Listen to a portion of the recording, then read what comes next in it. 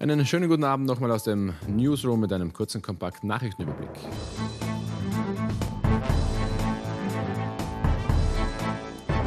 Man darf gespannt sein, welcher Teil des Parteinamens als erster gestrichen wird. Ätzen bereits politische Kommentatoren.